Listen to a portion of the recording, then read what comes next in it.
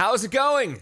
Another Thursday is upon us. It is Nate Mumford, quarantined still here in Danbury, Connecticut. Another installment of our RCS questions and answers during a time of remote workflows. And I made the joke yesterday. Well, unfortunately, I thought we were hopefully starting the second wave, but unfortunately, it's still technically the first wave, which means we're still talking about remote workflows. I hope you and your family and friends are safe and again, we're doing this every Thursday during uh, COVID 19 to help answer your questions and any kind of remote workflows or all of that good stuff. So if you have any questions, comments, as you know, as always, live at rcsworks.com.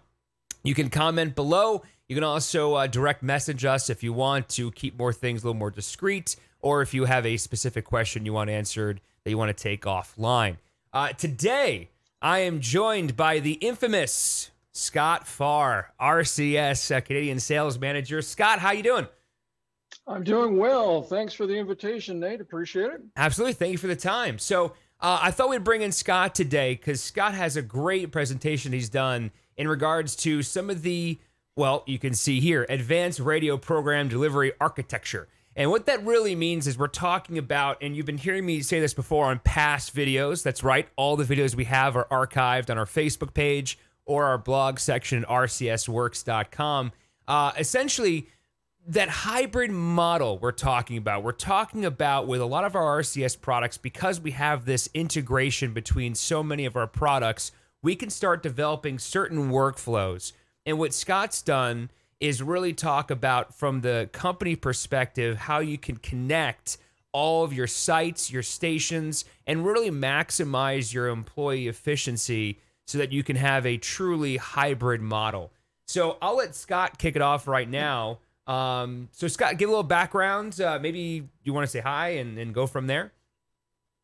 Uh, say hi to everyone, and uh, you know it's great to great to join you and talk about one of my my favorite topics, which is the the architecture, um, which is really underneath the hood uh, of Zetta and the ability to be able to communicate um, um, and, and develop new advanced workflows. I think that's some of the compelling things that I saw in Zetta, uh, and, and I love to talk about it because structurally, sometimes it gets into the weeds, as you would say, Nate, um, mm-hmm. but, none, but nonetheless, you know, it is one of the core capabilities of Zetta, and uh, I, I don't think we talk about it enough. I certainly talk about it too much, but but I think this is a great opportunity to to look at it from a I'm going to call it from an architectural perspective, from um, shall we say a um, um, um an organizational um, perspective, and how is that it can be deployed to solve all kinds of very unique problems. So, um, without further ado, I thought having a look at some of the Zetta core technology uh, and how this would apply uh, to some of the hybrid um, architectures that we're talking about. And of course, at the very core of, of, Zetta is, is this layered and modular design, you know, that isolates the core functionality. You know, playout is not tied to the on-air user interface. Live data is everywhere, uh, and that's because we communicate to a SQL server. So everything we do within Zetta communicates to and from the SQL server. So we know what's going on in real time uh, from any uh, from any location. Uh, most specifically in the local area, uh, we're able to communicate live and real-time data, and also allows for what we call a very flexible system in studio design because the functionality of, of, of Zetta, you know, can be can be located in different parts of your of your facility. Uh, your playout can be in a different location than your studios. Your production can be within your studio. Could be again remotely with Zetta to go. And also with the modular user interface, we're able to lay out Zetta uh, based on the workflow tasks. So if you're doing voice tracking, if you're working in traffic, if you're doing commercial production, uh, you can lay out the screens in different ways to highlight the various different modules that would be applicable to, to your workflow functions. Also with the enterprise shared database, uh, another core functionality. This, this basically is all about sharing your media, your metadata, your schedules, your voice tracks. You know, any station location can be assigned viewing of any and all assets that are connected through site replication. So the site replication is really all about an automated data replication between stations and locations. And also it's the tool that we use to communicate to the Zetta cloud so that we can communicate any facility uh, to the cloud so that all of the core data the media, the metadata, the schedules, and voice tracks, and all can be uh, can be shared to and from the cloud. Also, a very flexible architecture in term of that in terms of that communications um, is where we basically can have what we call I call an advanced hub and spoke, and we, you can see that up here where in fact we can have multiple facilities talking to each other. We can have one facility talking to many, or we can have many to one type of communication. We can also do this with on-demand, and of course with the automated data sync, which is site replication. I think that's where some of the magic lay. One of the other key pieces, of course, is our advanced audio engine. It's based on Wasapi, which is the Windows Audio uh, System API. And basically we can play, record, manage, and mix any audio, MPEG, layer one, two, three, AAC, broadcast wave. And it supports multiple simultaneous bit rates, bit depths, and sample rates. So with bit rates, I can have anything from you know 64 kilobits to 384 or um, whatever that might be. Bit depths in terms of like common is 16 and 24 bit. And of course, sample rates. I mean, there's a list of sample rates that are out there. And we also do a non-destructive um, time expand and compress on the playout as well. So why this is all important is how that audio is shared uh, across the network. So you can have a piece of audio which is, uh, shall we say, it's normalized um, for your individual station that you're in now.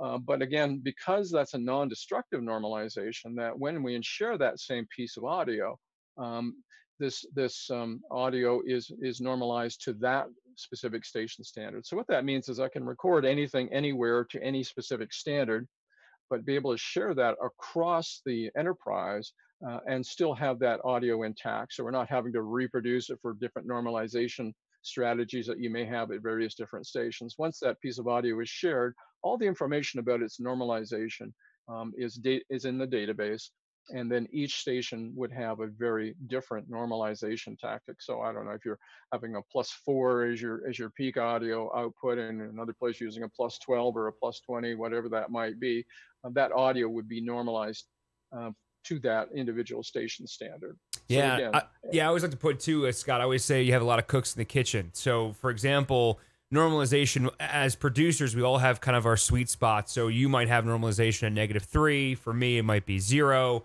and then all of a sudden, with Zetta's non destructive normalization, you get that consistency. And again, you get that consistency across markets, across stations, across users. That's right. So a piece of audio you produce anywhere under any specific um, uh, production standards, again, is usable anywhere else because those production standards are, are basically database items. So that audio is useful anywhere you put it. That's important. Uh, that's important because you want to share that.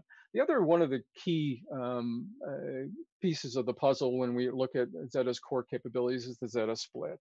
And, and basically, this is satellite affiliate oper operations without the problems. And I, you know, I, am going to give away my age a little bit, but that used to be one of the real problems that we had in automation. You know, was was how do we sync up with the uh, with a satellite operator how do we uh, how do we get that program source i mean there was all kinds of methods of queuing. I mean we got audible subaudible tones we got closures we got all kinds of things. And assuming all those were in the correct place at the correct time uh, and our interpretation of them was correct uh, we had a good show. If any one of those things went wrong we had a really bad show and things went very bad very quick. Um, also what we can do with it and, so in operating this is that basically we have a master station with multiple split stations. So uh, we're, we're both the uh, the satellite um, provider and we're also the affiliate but the nature of the communication between the uh, the operator and the affiliate is very tight. So we're doing that to ourselves if you will and all of our communication is real time via ip mm-hmm. and so the schedule based breakaways do the local content substitution. So we can have a master and we can just simply set up on our clocks that we have um, commercial spot breaks, we have IDs, liners, and imaging. And so that in fact, when the master is playing an ID or an imaging item, um, the local um, split breakaway uh, would play the local elements. Um, we also have what we call definable uh, audio asset split behaviors. So this basically can allow us to do something in real time. So in the old days, of course, if they decided to do something unique and different that didn't match the clock, we were just simply messed up. You couldn't mm-hmm. follow it. With Zetta, you can. We can basically do that with what we call asset tagging. So in other words, if the, the master is playing an ID, we'll basically have all of our potential uh, affiliate I tags with ID, and we'll be able to in real time be able to say, ah, that's an ID. Let's play an ID. So let's mute the master, play that local ID, and return to the master. And it's always a perfectly timed rejoin. You know, all segments are automatically time adjusted to the length of the break. So if the master would break away for 15 seconds, we break away for 15 seconds and we play local audio for 15 seconds. Even if it's not programmed, we also have a fill category that we can use and say, oh my goodness, we have to fill um, to um, to an unscheduled 15 seconds. And then we'll just simply go to the list of things uh, based on the asset tag or just based on a general fill category and go, oh my goodness, we have to fill 15 seconds here. So we can do this from the schedule or on the fly. Um, the hybrid operation, it's basically um, a schedule-based split or a local program playout. And split stations can have unique day parts and schedules as well. So what that would mean is that we're, we're following the satellite program, if you will, for most of the day part, but we're breaking away um, for other day parts. And, and, here in Canada, what we have is individual stations that may be following uh, the master. Um, CRTC dictates that we have to have a certain amount of locally generated programming. Um, so we would have to break away under this, this satellite affiliate model and, and do some local programming. And we can program that right within our Zetta, uh, uh, right within, you know, if we're using G-Selector to drive the clock, we can say, all right, in the middle of the day, we're no longer following that affiliate, that master station. We're now actually filling in with a couple of hours of local programming, which could be music generated from G-Selector. It could be a long form programming like newscasts or interviews or anything that you choose. This is great for regional broadcasts, and we'll talk about regionalization and and uh, and, and, localization in a little bit. Um, but you can do HD channels, translators, internet streams, and more. So if you have to rebrand your broadcast for any purpose, um, we can automatically do that uh, with a split with a split feed.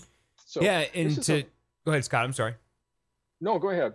I was gonna say to kind of uh, give you some examples here. Um, you know, this can be as simple or as complex as you want it to be. As Scott was saying, you know, I always kind of give the example of um, internet streams is a great way to interpret Zetta splits at this very simplistic level. You know, we have that internet streams where maybe you can't air certain commercials on your stream, so you have to split away, but you want to maintain that primary content. So the Zetta split would be for your internet stream to air a second commercial traffic log for just the stream. Or, for example, if you have a sporting event that can't air due to broadcast rights on your stream, you can have a split. The terrestrial station, the terrestrial sequencer would play essentially the, the game, and your Zetta split would, of course, split away and play another form of content. And as Scott was saying, you know, this is great for regional broadcast, HD channels, and again, having that primary content sort, but breaking away uh, throughout the day, day part. Again, as complex or as simple as you want it to be. Absolutely, and I, this is one of the inherent capabilities inside of Zetta, which you know we don't often talk about, but is really a very powerful tool. Um, basically, here with the Zetta splits, when I talked about the asset tags and split behaviors that can be defined on every audio asset, and here very quickly we can see that we have a tag element in here. Um, this tag element would simply say, hey, I'm an ID, I am a promo, I am something that can be defined. So in case the master should break away in some unscheduled um, uh, program, uh, that in fact we could then automatically um, uh, be able to react to that. And what do we do with that is the split behavior that we we mute the master audio, we play the, the local asset, and then we return to the master audio. So I thought I would show this screen because that does highlight that, in fact, the tagging is a really important piece of the puzzle here if you really want to be dynamic uh, or if you have an environment which is highly dynamic and you need to be able to respond to those situations on demand. Of course, Zetta2Go, Um, you know, what can I say? I mean, we talk a lot about Zetta2Go, but it's an extremely powerful tool. And it is one of the fundamental, um, um, I, I, guess, one of the fundamental pieces of, of, of a hybrid solution. So the Zetta2Go basically allows us to be able to voice track from anywhere, do remote operations from anywhere, uh, be able to do content management. I mean, we can, you know, we can now upload audio and manage them, manage the database, and of course, cluster monitoring. And I'm going to go to a screen here which shows this is very cool. Is that what we can do is with with um, the system monitor function of Zetta2Go, we can actually look at what's going on in each individual cluster. If we're actually managing multiple clusters, then we'll run up multiple uh, browser screens, if you will, with, with the status of each of the cluster's input. So we can see what's going on. We can see what's on the air if everything is operating correctly, if there's any problems. And again, the other thing I like to talk about with Zetta Go is the voice track, because again, that's a powerful tool. We can voice track from anywhere. We can do out of market voices coming into Marcus to give you know that fresh feeling. Um, and again, people can come in from anywhere. You can be using um, third-party talent, uh, coming having them come in and uh, and voice track your your overnights or whatever it may be. And again, that's one of the core functions of, of the Zetta to go.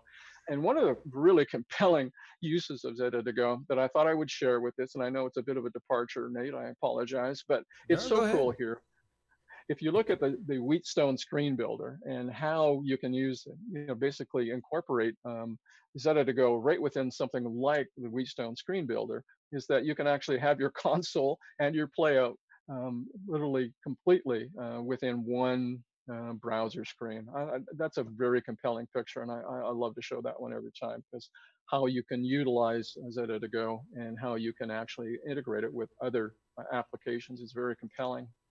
Absolutely. And by the way, before I forget too, Scott, we have as you're saying that hybrid model, we have a lot of users who interpret Zetta to go in many different ways. Of course, as you were saying, we have the remote capabilities, so we can go and add audio from our house if we're in quarantine. Um, but also, don't forget, there's some day-to-day operational purposes for Zetta to go. We have a lot of users. Uh, again, the example there is let's say they have um, five stations in a cluster. That means they have five program directors, some afternoon talents, maybe some morning shows, and there may be only three production studios due to real estate. So obviously, if I'm a PD and I want to monitor my station, I might not be able to do that in a production studio or the on-air studio. So we do have some clients that like to, at the desk of the PD, have Zetta to go open with their FM tuner so they can hear it, they can view it, and they can monitor their station while not utilizing some of those production studios. No, absolutely. It's it, you know Zetta to go and and how you would, choose to use it. I mean, you know, just let your imagination go wild. I mean, you can literally do anything from anywhere. And, and certainly, you know, in in this um, shutdown and lockdown scenario that we're in, I mean, Zetta to go is proven to be an extremely valuable tool. The things you can do with it now from your home and run your radio station, and, and people wouldn't know that you're not there except for you would know because you're not physically in the studio you're used to. So, so it does provide some internal changes and challenges. But mm-hmm. on the other hand, you know, what we're trying to deliver as a product in radio, I mean, people don't see um, the fundamental changes that have occurred. They don't hear them. Um, and uh, they're operating as per normal, although it's from the guy's basement or his rec room. You just don't know. Mm-hmm. Um, and we, we see a lot of that. We have a couple of stations in uh, Quebec City that are really just just loving this platform. And, and again, it's been uninterrupted operation for them. Uh, same jocks, same shows, same things going on. Uh, but again, they're doing it from their living rooms. You know, could be miles and miles apart, but the team is still the team, and they're still broadcasting like a team. Mm-hmm. Yeah, Right on. So moving on to uh, the advanced uh, cluster architecture, and this is where we start talking about uh, regionalization and localization. What's the strategy? So just a quick look at what a traditional, a typical cluster deployment would look like. And, and that's where, in fact, we have you know all of the pieces of the puzzle: our production, our traffic, our programming with g selector and traffic with Aquira. Um, we have on-air studios, we have production studios, and then we have playout. So the compelling thing with this uh, with the Zetta configuration in this scenario is that we can have basically one workstation that would play out multiple stations. Now, don't panic. you can also have what we call a hot spare as well. So in case that one workstation should go down, you're not going to lose four stations. You're just going to flip, flip over to the uh, to the hot spare. Mm-hmm. And um, of course, AOIP gives us some very powerful flexibility in terms of audio routing to make sure that, that your standard architectures work. So the other thing I'd like to just say here is that with our on-air studios, is that these on-air studios don't necessarily have to be assigned to individual stations. Any one of these studios could be any one of the on-air stations that are out there at any time, can switch. You can have multiple studios actually participating in the same audio stream. So again, extreme flexibility in terms of how you want to put this together. And that's would be our what we call our typical cluster deployment.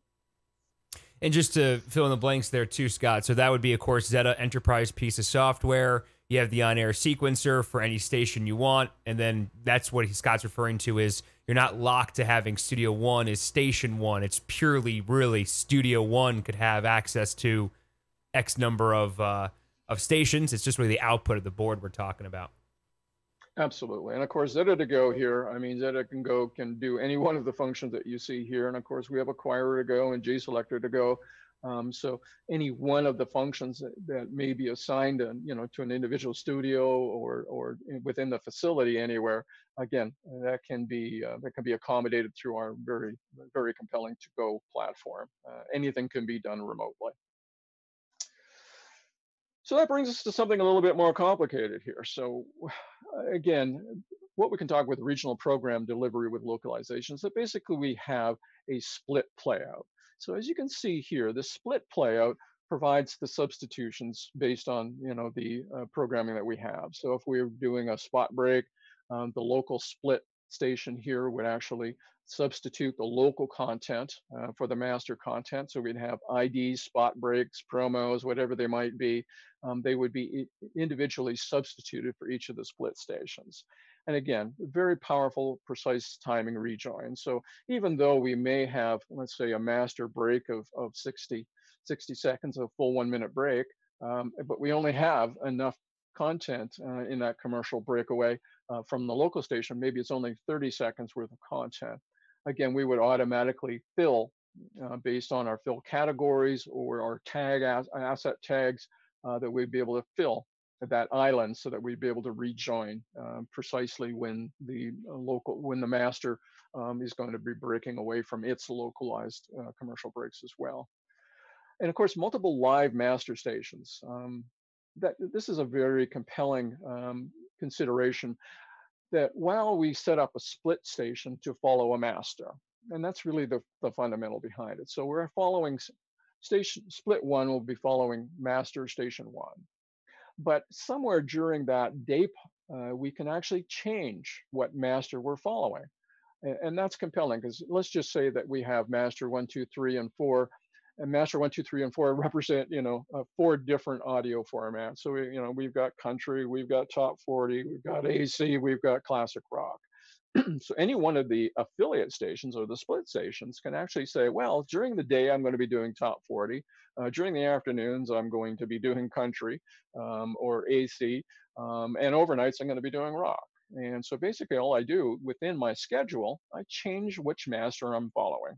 And that's so very compelling because it allows you access to that level uh, of, of programming change that you may want to occur. And again, all your breakaways and everything else, again, are that operate in the same way that regardless of which master we're following, when we do a, a commercial breakaway, when we do an ID, when we do a promo or, or some other type of event, which is to be split away from the master, we can do that. And of course, with Zetta to go, uh, we add another compelling um, piece of the puzzle is that again we can control you know the master station remotely from the local station whatever we would choose to do we can do it um, we can also then take over the individual stations. Just say we're doing a split takeaway, we're going to do a live show, and I'll get into that in a little bit more as we start to look at this at this cluster um, architecture a little bit more deeply. So again, the idea behind this is that we can set up um, the localization based on the based on the station follow. So just on the on the um, local station side of things, what would this look like? I mean, the local station options we can have basically a direct feed to the transmitter. We can do a studio feed as we see here, or we can do a studio feed with local playout capabilities, and that's again a very compelling amount of of um, uh, I guess flexibility in terms of how you would want to bolt this together. And I know some people, when in fact are just looking for economies of scale, and that's where we can take you know an ISTL decoder in this case, we're picking up the stream from the master, which could be you know anywhere in in the world for that matter, and then streaming it, taking that, uh, decoding it, and streaming it directly to to the transmitter. So the, the design of the ISTL is all about a client that we have here in Canada who runs six stations across Canada um, out of out of a small town in Ontario. And each of these individual six stations are spread all across Ontario. Um, they're in uh, uh, north, uh, rural rural Ontario. They have them in Saskatchewan and and northern northern Canada as well, in the Yukon. And so they basically they just send that STL feed, if you will, via um, via a codec encoding to the individual stations uh, across Canada. So um, one of the things I didn't really talk about a lot here, so I didn't want to get into the weeds on, how you may want to distribute your audio over great um, larger geographic um, separation. uh, but certainly the ISTL, and I think uh, Telos has one that they're using, and uh, they're able to encode their audio for each in station uh, individually at the master, and then send out the individual split feed output. And there's a number of ways that this can be bolted together. Uh, so again, can be directly to your transmitter, can be directly to the local studio, and directly to local studio where we have a local playout capability as well. And Scott, we got our first question, by the way. Uh, Michael was checking in, and he was curious about, um, of course, analog or digital audio over IP. You know, both work, correct? With yeah, absolutely. You know how you choose to um, uh, deliver your audio to your i'm going to call it the istl encoder mm-hmm. um, you know that could be anything from from analog uh, yep. aoip uh, aes ebu whatever it is and then it gets encoded so it gets into a, a format which can be then received by the decoder and decoded out and then the decoder's capability in terms of how it delivers that physical output you know again that could be analog yeah. that could be aes ebu it can be uh, you know aoip of uh, you know any brand manufacturer, so long as it's supported by your decoder. Or you have something in between here, which mm-hmm. simply takes the decoded output and then transcodes it into the specific audio format that you require. AKA, we're very flexible. That's the idea. Absolutely. We have no rules in this regard. Sorry, keep going. We, Thank you, Michael. We integrate with all the tools that are out there. Yes, thanks, Michael. So let's talk about a Zetta cluster network. And again, we get that amoeba looking thing over here, which is really what we, um, what's really important with this is that we, we have a very flexible hub and spoke kind of situation. Um, so basically with a Zetta cluster network, the concepts that I'm working into here is basically we have a centralized con uh, content production and programming. So this could be your master facilities wherever they may want to be located. And then we have regional facilities. These regional facilities can contribute to this hub and spoke, uh, or they can just simply receive it. And that's where we're receiving regional live or scheduled shows. Um, uh, there could be national uh, shows that we're receiving, and again, how we put it all together. And the ISTL um, design and, and, layout here gives us some really powerful live programming flexibility. But I don't want to get into that. We're not into the ISTL business, but um, there are lots of people are, and they're very good at it. And the technology is so much um, is so refined nowadays, and it gets better every day. So again, with the regionalized uh, production programming, we can have people that you know maybe uh, and we even talk about the programming side of things as well as the production, is that we maybe we have some of our experts that are in different centers. So maybe our country music person is in the western part of, of the country, and you know we want that talent there. We can't bring them to you know our central facility, which may be you know New York or Toronto, uh, but we want him to stay where he is. But we want him to continue to contribute and and also be the format master for our country programming. So we can accommodate that uh, from a regional perspective as well. And of course, if we're looking at centralized programming, we're bringing down regional clocks. Regional clocks, as how they affect. Now, Nate, you had a really great conversation the other day about G Selector S3 programming. Mm-hmm. And if we look at, you know, S3 is driving this from the top down, we can then customize the clocks and, and the and the organization of the programming that's coming from our master, wherever that happens to be, and again, we have no uh, we have no specific um, designation to a, when it comes to a master because of everything being on on on on site replication. Uh, so site replication provides you know the the ability for us to share whatever we do from wherever we are um, with any other uh, with any other station that happens to be within our group. And again, with station localizations, I mean, with, with the splits, we have the breakaways that can be local or live scheduled shows. Again, with the S3 programming, we can even bring that down even further, is to say we may want to have a regional approach, we may want to have an extremely local approach. And the nice thing to know is that we can do this in a completely hybrid way. Um, and we'll talk about the architecture in a little bit more, but the, uh, I guess the, the glue that holds this all together from any configuration perspective in the Zetta cluster network is the site replication. Yeah. The ability to be able to share that content across the uh, across the the enterprise. Yeah, and just because we have a couple minutes left here, Scott, just want to briefly touch base that G Selector S3 Scott was talking about is our scheduled subscription service. Uh, as you were saying, kind of the format captain, so to speak, and you have all these affiliates. I might do a Facebook Live in the upcoming weeks about that too, because we're seeing a lot more traction on the S3. So go ahead. Sorry, Scott. Yeah, absolutely. And so again, just looking at a cluster network, and I'll move through this really quickly. I mean, we can spend hours talking about this design and and and you know what's genius about it and what's insane about it. But basically, we can do master programming from a national. So one of the conversations I've been having um, here in Canada is that basically we want everything, all their master programming from the national facility. And the regionalization uh, by formats um, and, and, regional live programming by format. So we can actually take a national program. So let's just say we want to do our morning drives from our master facility, but we want to do our uh, afternoon drives and we want to do all of our other programming from the original from the regional cluster. So you can see here that we can do live programming, distribute it, you know, either in in, in audio form um, or live form through ISTL. We can deliver that out to our regional cluster facilities, which can then determine what the localizations would be for each of the individual stations that are associated to those regional clusters.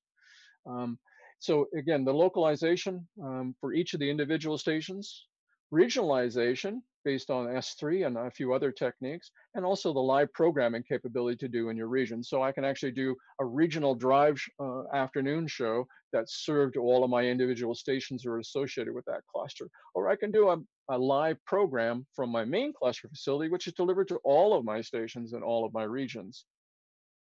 So how you would choose to put this together, again, extremely flexible and very powerful. So to cloud or not to cloud is the question. And I know there's a lot, been a lot of conversation around utilizing the cloud in radio broadcast. And you know, I, what's interesting is that the the um, the conversation is, is, has certainly picked up over the last few years, and, and, under our current situations as well.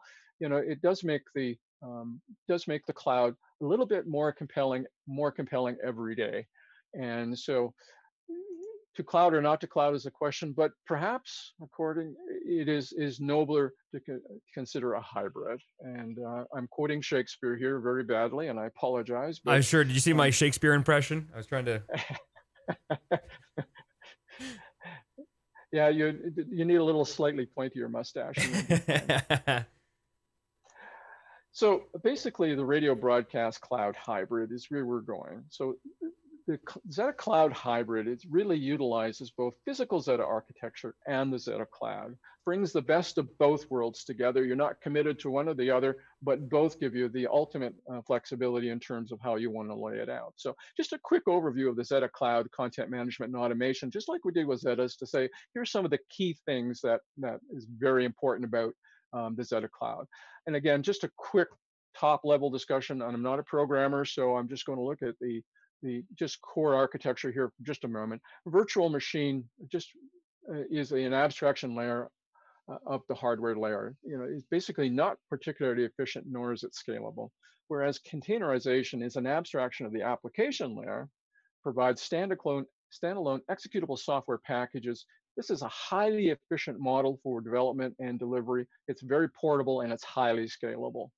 So just a quick picture of what that means. And you can look at this and see, well, with containerized, basically my container contains all the applications I would need. So if I want to move my container functionality, in this case, Zetta Cloud, to wherever I would choose to need it, and that can be the cloud, that can be a local workstation, that can be a variety of different things. That container just simply allows me to grab this whole thing and drop it down on a host operating system somewhere else. Whereas if you look at the virtual machine, basically what we have is we have the infrastructure, we have a hypervisor, which could be, you know, whatever your, your cloud hypervisor would be. It could be um, AWS, Azure, whatever it might be. And then we have to put another guest operating system on, then the application on top of that, which is your virtual machine.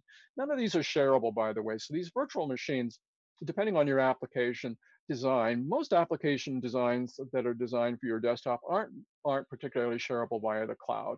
Uh, whereas the containerization of Zetta Cloud is highly shareable. So what that means is once we deploy that, you know, we want one or two, three people um, uh, working that application. It's inherently part of the design. So I'm going to leave that alone. That's, uh, that's areas for uh, for Chip and his team. Um, but let's have a look at the playout architecture uh, with, with Zetta Cloud. Basically what we can do is Zetta Cloud becomes a stream host.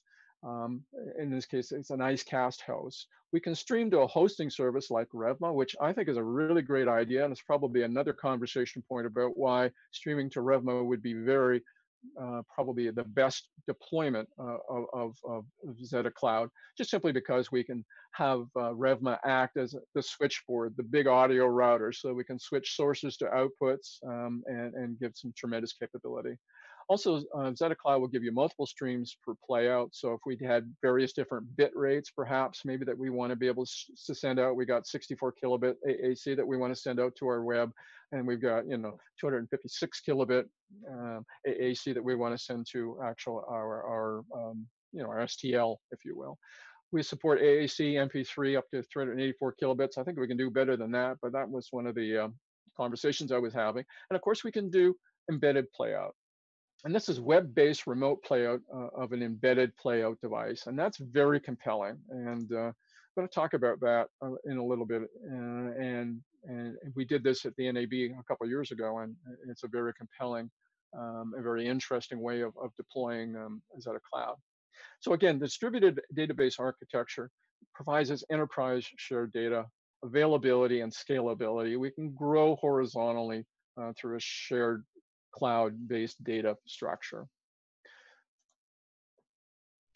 All right, so let's look at the cloud hybrid architecture very quickly. Enterprise database architecture, uh, we have the audios and schedules stored centrally, available to physical and cloud services, automated distribution via uh, site replication, and of course, it gives us the ability to deliver programs in a very agile and flexible way.